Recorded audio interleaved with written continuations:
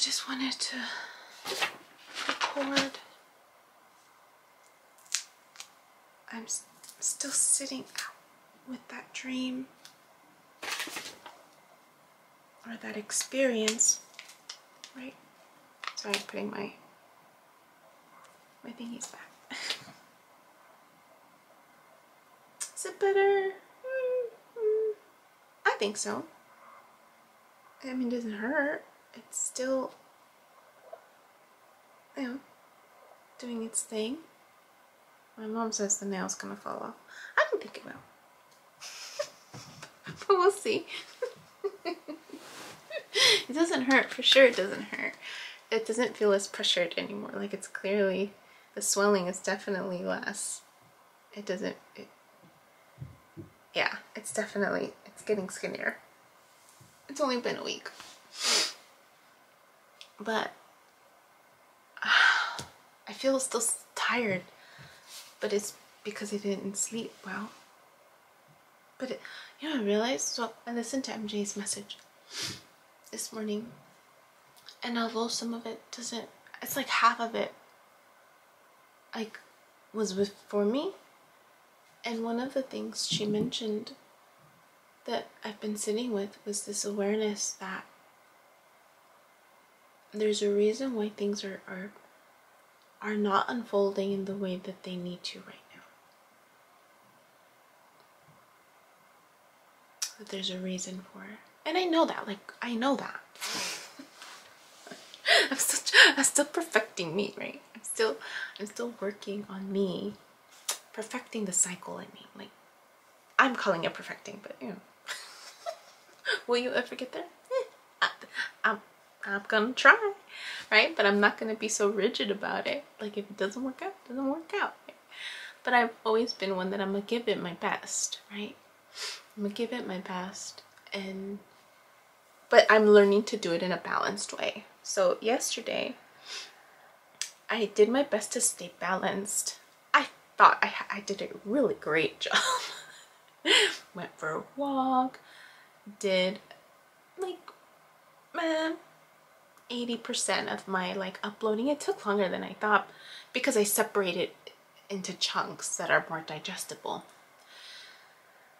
i did some of my work from monday so i finished you know three out of five notes and you know did some light reading the lover by marguerite Duras. and i'm almost done with it i have like a third left you know, ate healthy, went for a walk, did a little more spending than usual, but you know, it's for my, my cousin and their birthday. And then did some writing with, it was to letter to them, but still like it inspired, it, it just inspired me. Um, so it, I felt like it was like the perfect day because it felt so great so to get that experience last night i was like whoa this is so like and that's why i was like did i was i low vibing it? Because you know i know like like attracts like right? So i was just like was i totally low vibing it? Who did i interact with? Then i remembered i interacted with my parents too briefly aside from the people that i connected with at the stores. I i connected with my parents. And you know they weren't in like utter distress.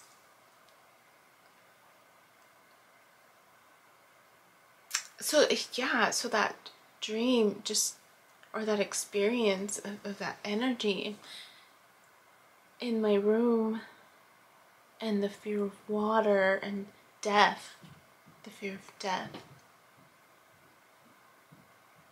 And it was so early in the evening, some so early in the morning that I thought, let me go back to sleep.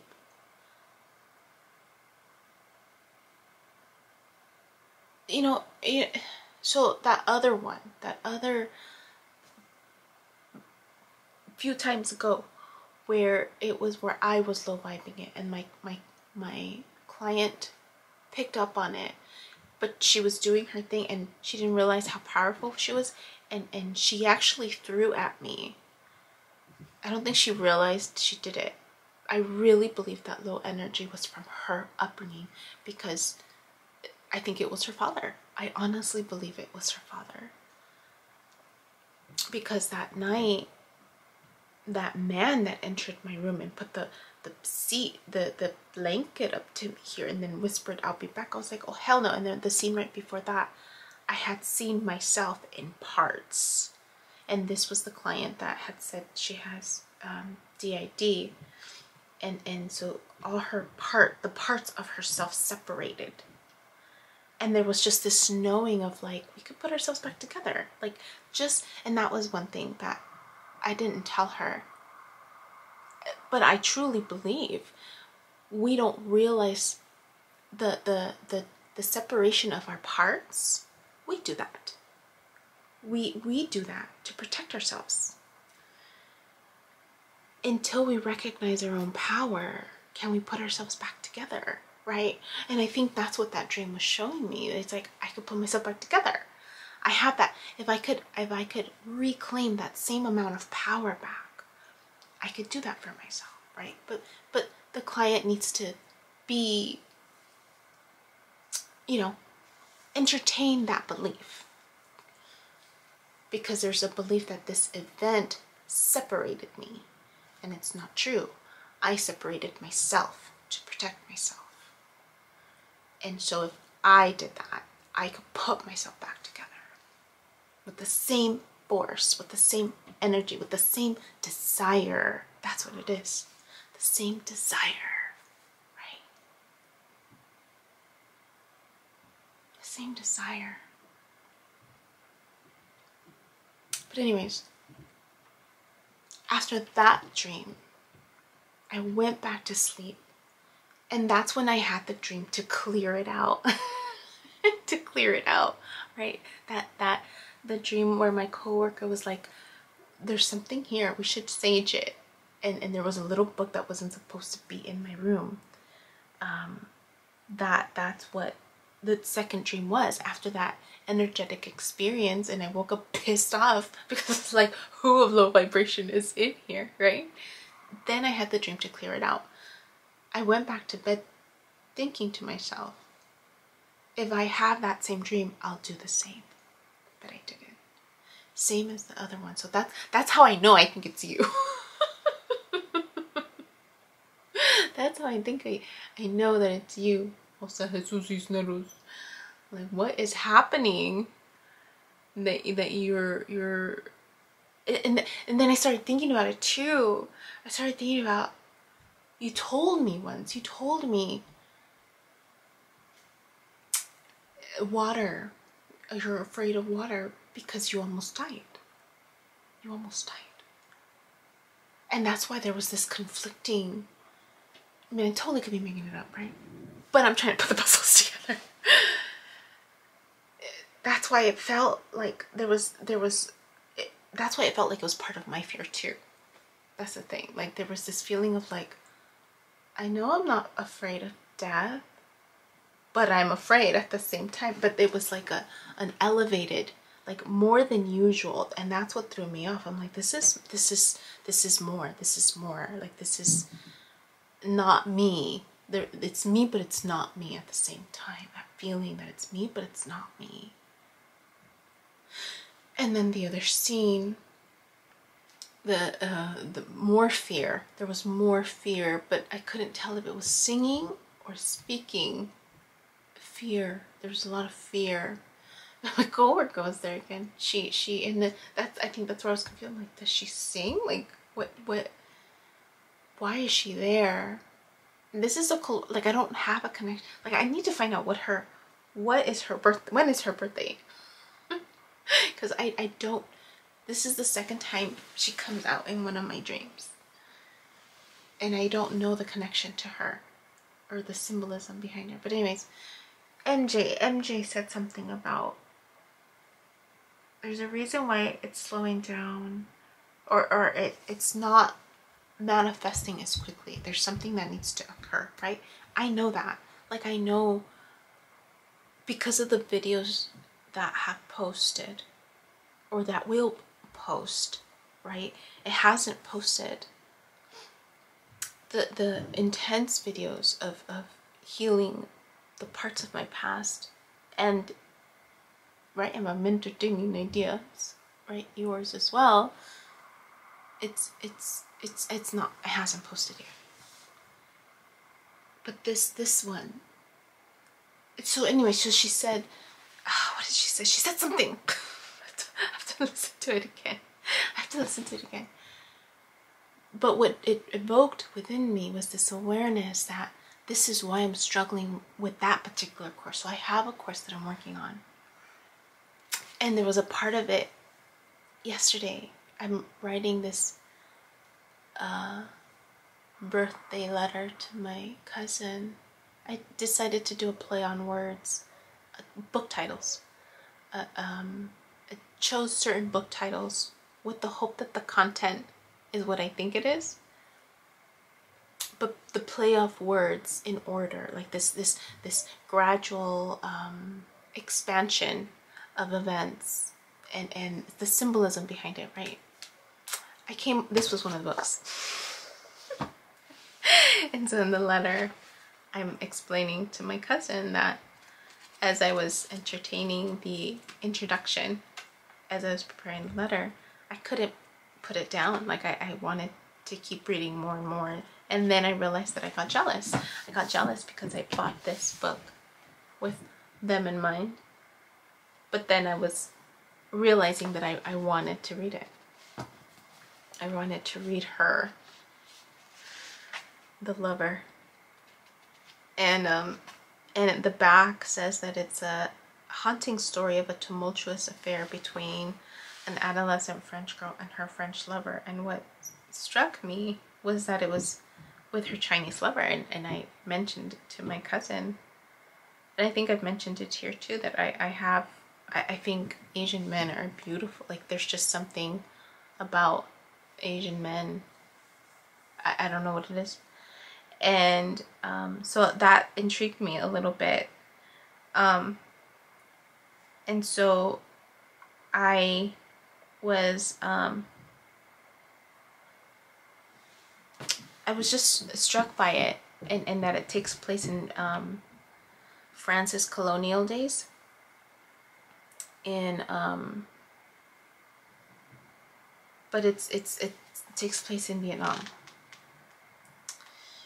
I think it's Vietnam. It's Vietnam. Hmm. I want to say it's Vietnam and so um, in the Ho, Ho Chi Minh City. And so I um oh so in in in there I'm writing a little bit about death and this awareness that death is an illusion, right? Because uh, what I'm, I'm learning is that death is like light. It's it's as a death is like light. You can't touch it. No, it's that's not what I wrote. I wrote um it's the loss. Loss is an illusion, not death. Loss is an illusion. And one of the books, it's it I haven't read it and and it's from the back cover it talks about um, uh, a a young woman's um, fear that her culture was going to um, be taken away by, by the colonialist or something like that. And, and so it motivates her, you know, when we fear loss of something, we hold on tighter. We hold on tighter because we don't want to let it go. And it just reminded me of like, you know, society, right? Everything right now, right? And people are wanting to hold on to certain beliefs because they're afraid. They're afraid of what it's going to look like without it, right? And and and uh, people at the same time, we hold on to people because of, of fear of what life will be like without it, without them.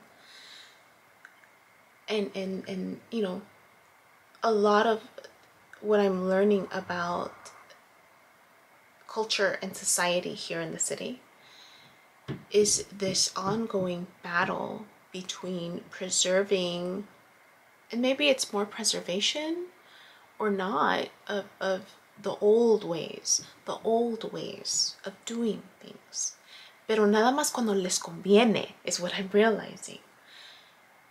Why? Because it's this battle of in, the indigenous people, right? And and how colonialism kind of did away with that, right? With with you know and, and so there's this battle between reclaiming lands, right?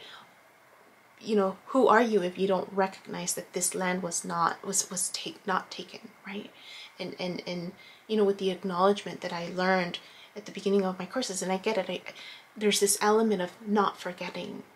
There's this element of not forgetting, but but there's resistance towards the the becoming as well, and and and there's this. It's so like apparent to me when I hear people's conversations, and and there's just this this unknowing of of how to apply what they're doing outside of them. It's it's it's so interesting to see that what they're doing is the exact same thing. Mm, the pattern is the same. The context is different. The pattern is the same with and and it's going to sound offensive, but with LGBTQ community. With with the people who are trying to preserve the old way, right? The the the binary way. And and and the the resistance towards that because we are evolving. It's the same it's the same pattern. and and and and so then it's like, well, what's the balance of both? Right? What's the balance of making sure we continue to preserve the history the old way, but still embrace the new, right? To still, you know, uh, honor, right, the binary way and still embrace the evolving way, right? And, and so, so anyway, off tangent.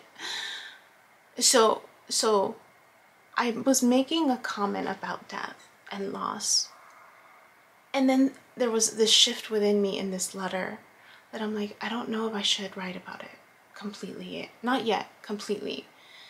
Because then I started questioning myself. I started questioning myself in this awareness of like, do I know death? Do I know death to be able to speak on it? Right? And and I think that's where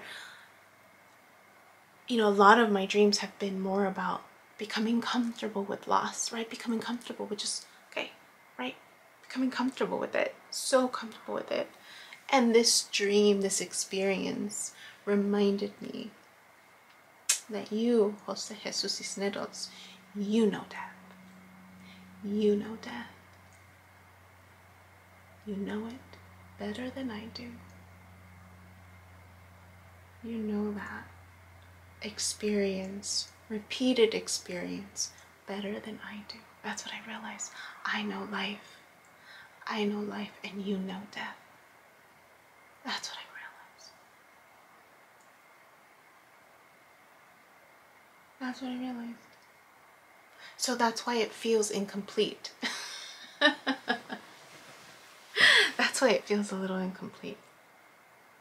I'm learning, I'm learning a different perspective. I'm learning a the other side of it. That's what I realized. That's what I realized. Anyways, I just I wanted to document that awareness. It's eight o'clock. I need to get ready. I, for whatever it's worth. I I just to remind myself maybe as I keep writing to be mindful about that too. Is is the contrast, the contrast between simply the contrast between um,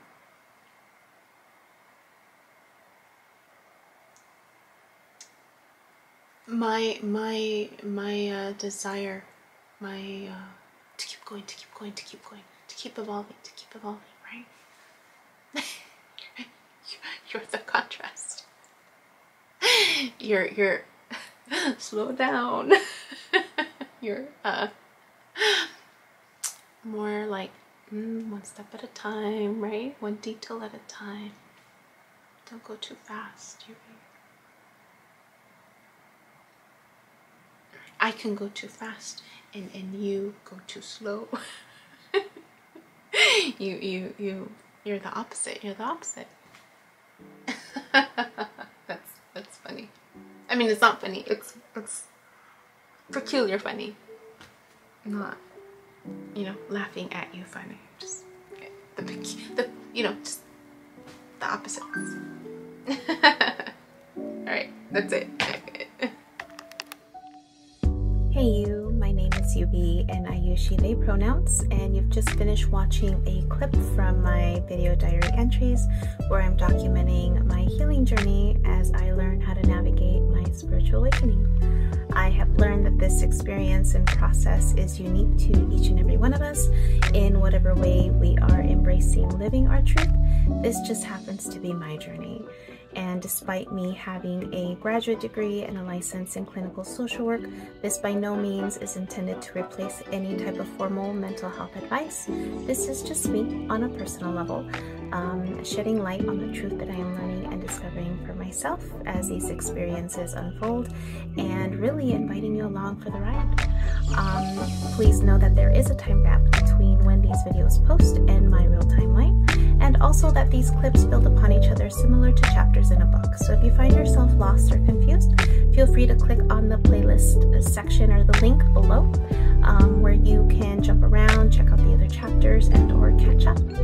Um, also, please know that um, you're more than welcome check out my website, www.youbecominghealed.com, where I've gathered all of this information, my background experience, um, and education to create online self-paced courses to help you on your healing journey wherever you are. You're also more than welcome to check out my other YouTube channel at You Becoming Healed, where I've entertained a podcast, including clips from these courses so that I can make this content accessible to more and more people. Um, please click like, subscribe, and share this content so again it reaches more people with the hopes that other people will resonate and connect with the healing journey and the stories shared so that they don't feel alone in their own process. I thank you in advance. I'm grateful to you and um, I wish you well.